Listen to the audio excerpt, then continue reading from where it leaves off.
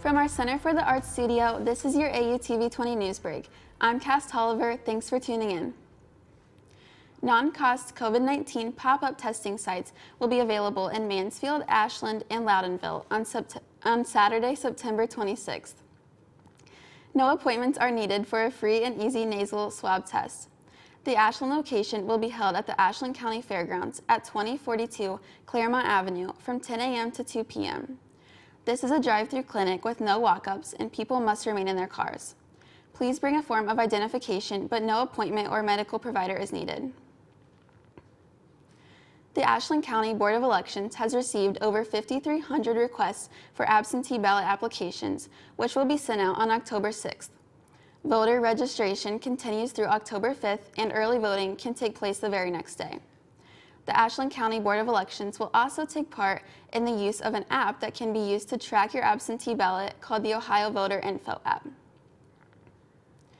Richland Public Health is reporting 804 total cases of COVID-19, with 749 confirmed and 55 probable cases.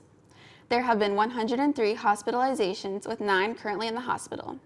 33 of those have spent time in the ICU. The total number of deaths is 19 and 705 people have recovered. Ages range from 6 months to 97 years. Richland Public Health encourages the public to wash their hands often with soap and water for at least 20 seconds or to use an alcohol-based hand sanitizer, only if soap and water are not available. They also say to avoid touching your eyes, nose, and mouth, cover your mouth and nose when coughing or sneezing, and avoid contact contact with sick people. The COVID-19 vaccine may still be months away, but distribution plans are already in the works, with experts saying the H1N1 pandemic offers Ohio's health departments a roadmap for what they can expect. Mass vaccination clinics popped up around Columbus due to the H1N1 pandemic. Something similar may take place this year, even though the Centers for Disease and Control Prevention has yet to issue guidelines on who will get a COVID-19 vaccine first.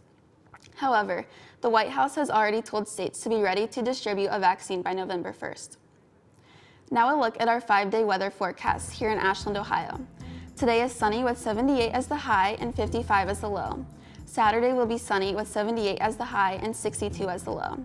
Sunday, we will see thunderstorms with a high of 75 and a low of 55. Monday and Tuesday will be rainy with a high of 66 on Monday and 60 on Tuesday.